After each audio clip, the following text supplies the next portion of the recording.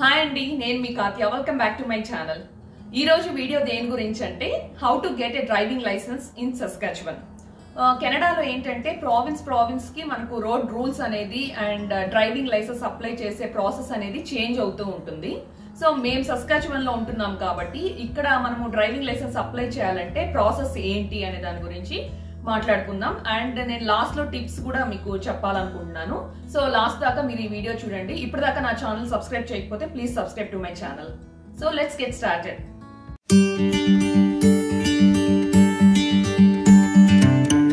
కెనడాలో ఏంటంటే మనకు పబ్లిక్ ట్రాన్స్పోర్టేషన్ చాలా బాగుంటుంది. కార్ ఉండాలి అని కంపల్సరీ అయితే లేదు. కార్ లేకపోయినా కూడా మేనేజ్ చేయొచ్చు. బట్ కార్ ఉంటే ఏంటంటే కొంచెం కంఫర్టబుల్గా ఉంటుంది. మనకు వింటర్స్లో బస్ స్టాప్స్లో వెయిట్ చేయాల్సిన అవసరం ఉండదు. ఎక్కడికన్నా వెళ్ళాలన్నా కన్వీనియంట్గా ఉంటుంది. ఇక్కడ ఏంటంటే కార్ లేకపోయినా డ్రైవింగ్ లైసెన్స్ ఉండడం మనకు చాలా ఇంపార్టెంట్ ఎందుకంటే ఒక్కొక్కసారి మనము వీక్ డేస్లో కార్ అంతా యూజ్ చేయకపోవచ్చు. ఓన్లీ వీకెండ్సే మనము యూజ్ చేయొచ్చు. సో అలాంటప్పుడు ఏంటంటే మనము వీకెండ్స్ కార్ రెంట్ తీసుకొని కూడా మనము యూజ్ చేసుకోవచ్చు. సో అలాంటప్పుడు మనకు డ్రైవింగ్ లైసెన్స్ అనేది చాలా ఇంపార్టెంట్ సో మనము డ్రైవింగ్ లైసెన్స్ అప్లై చేయాలంటే మనకు టూ పీస్ ఆఫ్ ఐడెంటిటీ అయితే మనం ప్రొవైడ్ చేయాల్సి ఉంటుంది. అందులో ఏంటంటే మీ లీగల్ నేమ్ ఉండాలి మీ date of birth and signature ఉండాలి. అండ్ ఇదే కాకుండా మీ ప్రూఫ్ ఆఫ్ రెసిడెన్సీ కూడా మనం ప్రొవైడ్ చేయాల్సి ఉంటుంది. లైక్ మీరు సస్కాచువన్లో లీవ్ చేస్తున్నట్లు. సో దీనికి ఏంటంటే మీ పాస్పోర్ట్ కానీ మీ పిఆర్ కానీ లేకపోతే మీ యూటిలిటీ బిల్స్ ఆర్ మీ లీజ్ అగ్రిమెంట్ సో ఇలాంటివి అయితే మీకు సరిపోతుంది. మనం కొత్తగా డ్రైవర్ లైసెన్స్ అప్లై చేయాలంటే ఫస్ట్ స్టెప్ ఏంటంటే నాలెడ్జ్ టెస్ట్ అంటే రిటర్న్ టెస్ట్ ఈ రిటర్న్ టెస్ట్కి ఏంటంటే మనం ఫస్ట్ ఆన్లైన్లో మనం స్లాట్ బుక్ చేసుకోవాలి. అండ్ దీనికి ఫీ కూడా ఉంటుంది ట్వంటీ ఫైవ్ డాలర్స్ మనం పే చేయాలి. అండ్ ఈ ఎగ్జామ్ ఎలా ఉంటుందంటే టోటల్ ఇందులో ఫార్టీ క్వశ్చన్స్ ఉంటాయి. అన్ని మల్టిపుల్ చాయిసే ఉంటాయి. మనం పాస్ అవ్వాలంటే thirty two out of forty మనం స్కోర్ చేయాలి. అంటే ఎయిటీ పర్సెంట్ మనం ఖచ్చితంగా స్కోర్ చేయాలి పాస్ అవ్వడానికి. అండ్ uh, ఈ ఎగ్జామ్లో ఏంటంటే మోస్ట్లీ మనకు డ్రైవింగ్ సిచ్యుయేషన్స్ పైన అండ్ రోడ్ సిగ్నల్స్ పైన క్వశ్చన్స్ ఉంటాయి. అండ్ సస్కాచువన్ డ్రైవర్స్ హ్యాండ్ బుక్ అని uh, బుక్ దొరుకుతుంది మనకు. ఇదైతే మనం కంపల్సరీ రీడ్ చేయాలన్నమాట. Uh, అది చదివితేనే మనకు బాగా అర్థమవుతాయి. ఇక్కడ రోడ్ రూల్స్ అండ్ రెగ్యులేషన్స్ ఎలా ఉంటాయని. అప్పుడు మనకు ఎగ్జామ్ క్లియర్ చేయడానికి ఈజీ అయిపోతుంది. అండ్ ఇదే కాకుండా మనకు ఎస్జిఐ వెబ్సైట్లో మనకు మాక్ టెస్ట్లు కూడా ఉంటాయి అనమాట ఇవి మనం కంటిన్యూస్గా మనం ప్రాక్టీస్ చేసామంటే మోస్ట్లీ ఇవే క్వశ్చన్సే మనకు నాలెడ్జ్ టెస్ట్లో కూడా రిపీట్ అవుతాయి. వన్స్ నాలెడ్జ్ టెస్ట్ అయిపోయాక విజన్ టెస్ట్ కూడా ఉంటుంది. Vision test just basic so ఈ రెండు క్లియర్ అయిపోయాక వాళ్ళు మనకు ఒక ఫామ్ ఇస్తారనమాట లైక్ మనం ఈ ఎగ్జామ్స్ అన్ని క్లియర్ అయిపోయినట్లు పాస్ అయినట్లు. ఈ ఫామ్ తీసుకెళ్ళి మనము ఎస్జిఐ ఆఫీస్లో సబ్మిట్ చేస్తే మనము లర్నర్ డ్రైవర్ లైసెన్స్కి అప్లై చేసుకోవచ్చు. మనం అప్లై చేసిన ఒక వన్ వీక్కి మనకు పోస్ట్లో మనకు కార్డ్ అనేది పంపిస్తారు. ఇక్కడ లర్నర్ డ్రైవర్ లైసెన్స్ని క్లాస్ సెవెన్ అంటారు.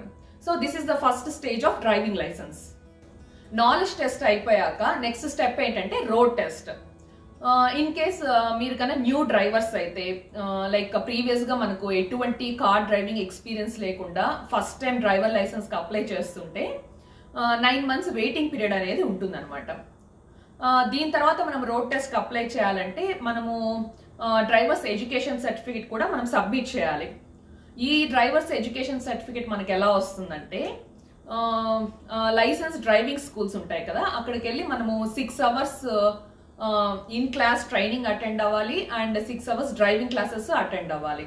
సో ఈ రెండు అటెండ్ అయిన తర్వాత వాళ్ళు మనకు సర్టిఫికేట్ అనేది ఇస్తారన్నమాట. అదే nothing but drivers education certificate.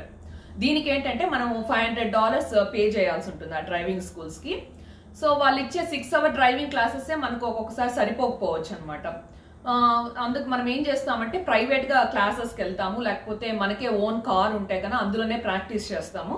So ఇలా ప్రాక్టీస్ చేసి మనకు ఒక కాన్ఫిడెన్స్ వచ్చాక మనము అప్పుడు రోడ్ టెస్ట్ అనేది బుక్ చేసుకోవచ్చు.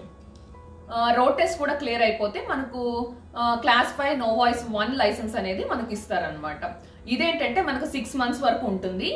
అండ్ విత్ రెస్ట్రిక్షన్స్ ఓన్లీ మన ఫ్యామిలీ మెంబర్స్నే తీసుకెళ్ళాలి. అండ్ సర్టెన్ టైమ్స్లోనే మనము డ్రైవ్ చేయాలి. ఇలాంటి రెస్ట్రిక్షన్స్ ఉంటాయి. సో సిక్స్ మంత్స్ తర్వాత మీకు ఆటోమేటిక్గా అప్గ్రేడ్ అవుతుంది అనమాట నో వాయిస్ టూకి నో వాయిస్ టూ ఏంటంటే ట్వెల్వ్ మంత్స్ ఉంటుంది. ఇది కూడా మళ్ళీ రెస్ట్రిక్షన్సే మీరు ఇంకొక డ్రైవర్ చేసేటప్పుడు వాళ్ళని సూపర్వైజ్కి వెళ్ళకూడదు. అండ్ ఇమీడియట్ ఫ్యామిలీ కాకుండా ఒక పర్సన్ అవుట్ సైడర్ని ఒకరిని తీసుకెళ్ళొచ్చు మీ కార్లో. సో ఇటువంటి రెస్ట్రిక్షన్స్ ఉంటాయి. సో ట్వెల్వ్ మంత్స్ అయిపోయాక మీరు క్లాస్ ఫైవ్కి గ్రాడ్యుయేట్ అవుతారనమాట ఇదేంటంటే final and full unrestricted licence nothing but class five licence ఇంకొక సినారియో ఏంటంటే ఇన్ కేస్ మీకు ఇంటర్నేషనల్ డ్రైవింగ్ ఎక్స్పీరియన్స్ కన్నా ఉంటే like two years of experience కానీ ఉంటే మీకు ఇక్కడికి వచ్చాక నాలెడ్జ్ టెస్ట్ ఇచ్చాక మీరు డైరెక్ట్గా రోడ్ టెస్ట్కి ఎలిజిబుల్ అనమాట కాకపోతే మీరు మీ డ్రైవింగ్ లైసెన్స్ అబ్స్ట్రాక్ట్ ఉంటుంది కదా మీ ఎక్స్పీరియన్స్ ఇన్ఫర్మేషన్ అంతా అది ప్రొవైడ్ చేయాల్సి ఉంటుంది. సో దాని తర్వాత మళ్ళీ మనం ప్రైవేట్గా క్లాసెస్ అటెండ్ అవ్వచ్చు డ్రైవింగ్కి so once you're comfortable and confident then we can go for the road test and మీకు less than two years experience ఉందనుకోండి బ్యాక్ హోమ్లో అప్పుడు ఏంటంటే మీరు నాలెడ్జ్ టెస్టర్ ఇవ్వాలి and nine months waiting period as usual మీరు న్యూ డ్రైవర్స్ ఏ రూల్స్ అయితే ఫాలో అవుతారో సేమ్ అలానే ఫాలో అవ్వాలి. అన్లెస్ మీకు two years and more experience ఉంటే కదా మీరు ఈ- నైన్ మంత్స్ వెయిటింగ్ పీరియడ్ అనేది వేవ్ ఆఫ్ చేయొచ్చు. రోడ్ టెస్ట్లో ఏంటంటే మనతో పాటు ఎగ్జామినర్ కూడా కూర్చుంటారు. అండ్ మనం చేసే ప్రతి మిస్టేక్స్కి కొన్ని పాయింట్స్ అనేవి కట్ అవుతూ ఉంటాయి అనమాట సో ఇలా కట్ అయిన పాయింట్స్ అన్ని టోటల్ టెన్ కానీ ఆర్ అబౌవ్ టెన్ కానీ అయిందంటే మనము రోడ్ టెస్ట్ ఫెయిల్ అయిపోయినట్లే. రోడ్ టెస్ట్ చేసేటప్పుడు మనం ముఖ్యంగా గుర్తుపెట్టుకోవాల్సిన పాయింట్స్ ఏంటంటే లైన్ చేంజ్ చేసేటప్పుడు ఫస్ట్ సిగ్నల్ ఇచ్చాకే మనం లైన్ చేంజ్ అనేది చేయాలి. ఇది ఎక్కువ మంది మిస్టేక్ చేస్తూ ఉంటారు సో మనం కేర్ఫుల్గా ఉండాలి ఈ విషయంలో. అండ్ ప్యారల్ పార్కింగ్ చేసేటప్పుడు కర్బ్కి టూ ఫార్ ఉంటే కూడా మనకు పాయింట్స్ కట్ అవుతాయి. అండ్ పెడస్ట్రియన్స్కి చాలా ప్రిఫరెన్స్ ఇక్కడ. సో మనము ఎప్పుడు కూడా సిగ్నల్స్ దగ్గర సిగ్నల్ చూడాలి తర్వాత పెడస్ట్రియన్స్ కూడా మనం ఒకసారి చూసుకొని తర్వాత మూవ్ ఆన్ అవ్వాలి. And speeding limit. మనము ఫిఫ్టీ అంటే ఇక్కడ మాక్సిమం స్పీడ్ వచ్చి ఫిఫ్టీ విత్ ఇన్ సిటీలో స్పీడ్ లిమిట్ వచ్చి ఫిఫ్టీ. సో ఫిఫ్టీకి ఎక్కువ అవ్వకూడదు ఫిఫ్టీకి తక్కువ అవ్వకూడదు. మనము కరెక్ట్గా ఫిఫ్టీలో మెయింటైన్ చేయాలన్నమాట. ఇంకొక ఇంపార్టెంట్ టిప్ ఏంటంటే మనం రోడ్ టెస్ట్ బుక్ చేసుకునేటప్పుడు మనకు పాసిబుల్ అయినంత వరకు వీకెండ్స్ సాటర్డే కానీ సండే కానీ అర్లీ మార్నింగ్ మనం ఎయిట్ ఓ క్లాక్కి బుక్ చేసుకుంటే అప్పుడు ఏంటంటే క్రౌడ్ చాలా తక్కువ ఉంటుంది. మనం పాస్ అవ్వడానికి కూడా మనకు స్కోప్ ఎక్కువగా ఉంటుంది. ఈ time is the best time అనమాట సో మనం రోడ్ టెస్ట్ ఇచ్చేటప్పుడు ఈ పాయింట్స్ మనము కేర్ఫుల్గా ఫాలో అవ్వాలి. ఇన్ కేస్ మనం ఫస్ట్ అటెంప్ట్లో కానీ ఫెయిల్ అయితే మళ్ళీ కూడా ట్రై చేయొచ్చు. ప్రతి అటెంప్ట్కి మనము ఒక ఫిఫ్టీ ఫైవ్ డాలర్స్ పే చేయాల్సి వస్తుంది అనమాట రోడ్ టెస్ట్కి సో అదండి ఈ వీడియో మీ డ్రైవర్ లైసెన్స్ తెచ్చుకోవడానికి హెల్ప్ అవుతుందనే అనుకుంటున్నాను. ఈ వీడియో కనుక మీకు హెల్ప్ఫుల్గా అనిపిస్తే నా ఛానల్కి సబ్స్క్రైబ్ చేసుకోండి లైక్ చేయండి కమెంట్ కూడా చేయండి. Thank you for watching see you in the next video bye